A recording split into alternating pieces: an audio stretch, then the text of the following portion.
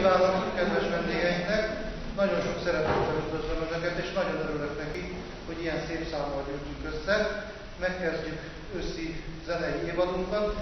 Továbbra is a Magyar Virtuózók Kamarazenekarral a szerződésünk. Igyekeztünk elég színes őszi zenei programot összeállítani, amiről majd Zentai Károly fog beszámolni Önöknek. Most pedig nincs más dolgom, mint hogy megnyissam az őszi évadot, és nagyon jó szórakozást kívánjak a mai hangversenyhez. Fogadják szeretettel vagy Zentai Károly és Vizjárdó zongora művészeket és a Magyar Virtuózók Kamarazenekar tagjait. Még egyszer jó szórakozást kívánok!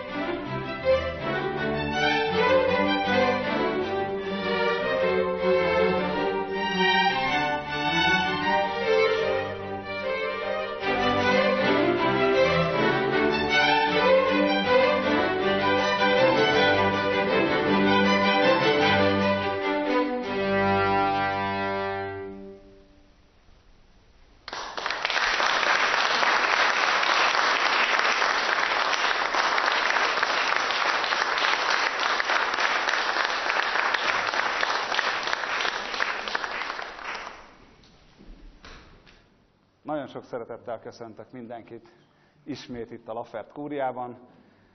Mindig izgalmas egy új évad, ami már a negyedik, amit most kezdünk, és hát nem mondom őszintén, itt kollégák tudják, hogy igen komoly aggályokkal voltam itt még egy órával ezelőtt, hogy hát mondom, nem lesz itt közönség, mert hát mit tudom én, nyár volt, meg nyár van, még biztos már azt se tudják, kik vagyunk, kezdhetünk mindent előről, de örömmel látom, hogy azért nem, nem teljesen múltunk ki a tudatból, és remélem mindenkinek nagyon kellemesen telt a nyár.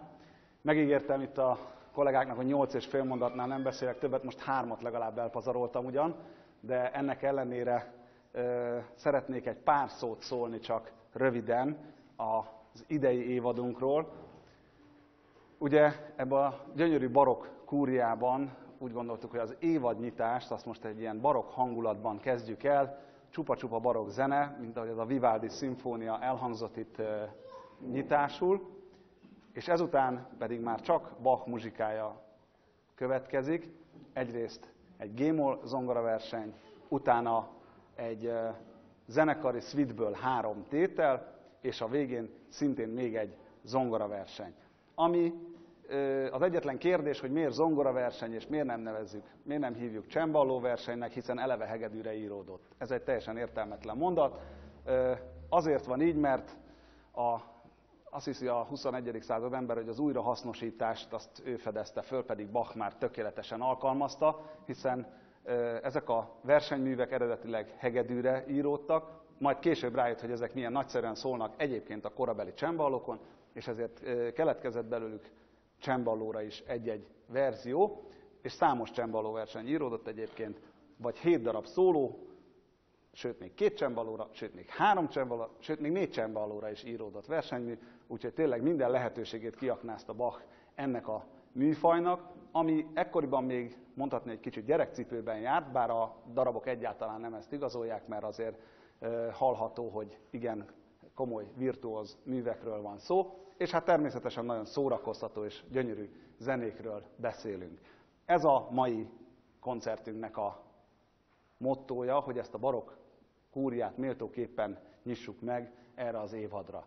De az évad, ami október közepétől indul reményeink szerint, idén azt találtuk ki, hogy korszakokról fogunk kicsit képet alkotni, mert ugye már eddig volt mindenféle metodika, amin végigmentünk, úgy általában a zenéről, akkor voltak szólóhangszerek, akkor ugye tavalyi évet a különböző kamaracsoportoknak szenteltük, és az idei évben pedig korszakalkotók néven indítjuk el a sorozatot, ami konkrétan a barokk, a klasszikus, a romantikus és az impressionista koroknak a kimagasló zeneszerzőiről próbálunk valami kis ízelítőt, valami kis képet adni, hát nyilvánvalóan a teljesség igénye nélkül, hiszen hatalmas irodalomról beszélünk, és elég nagy korszakról, ugye elég hosszú időszakról a történelemben, de reméljük, hogy ezen sikerül végigérnünk. Ezen kívül természetesen a karácsonyi koncertet azt továbbra is ö, szeretnénk megtartani úgy, ahogy tavaly, valami annak szellemében, ahogy tavaly, tehát hogy versekkel például kiegészítve egyfajta karácsonyi hangulatot teremteni, és természetesen a farsang ünneplésére egyfajta farsangi koncertet, valamint a húsvét alkalmából, konkrétan húsvét vasárnapjára tervezünk egy húsvéti koncertet is, és hogy nagyon messzire ne szaladjunk, természetesen júniusban, ugye valamikor ott a múzeumok éjszakáján, ahogy idén is volt, meg már tavaly is volt erre példa, valami záró aktusa lesz ennek a sorozatnak, az még alakulóban van. Úgyhogy, hogy ne húzzam nagyon túl a mai napot se, én nagyon remélem, hogy ez a közönség létszám ez tovább gyarapszik, majd valahogy bontunk egy nagyobb ajtót, és akkor reméljük, hogy arra tudunk terjeszkedni egy kicsit, de arra biztosan, úgyhogy, úgyhogy reméljük, hogy az újabb és újabb emberek, akik megtisztelnek minket jelenlétükkel ezeken a koncerteken, hát ezeknek a száma csak nőni fog. Én bevallhatom mindenféle ö, túlzás nélkül, hogy hálásnak vannak olyan törzsközönség tagok, akik itt minden évben lelkünkre kötik, hogy folytassuk. Ebből azt merem levonni ezt a következtetést, hogy azért ez talán, talán, talán most már kezd beépülni itt a Dunaharaszti köztudatba, és egyre többen kedvelik ezeket a műsorokat.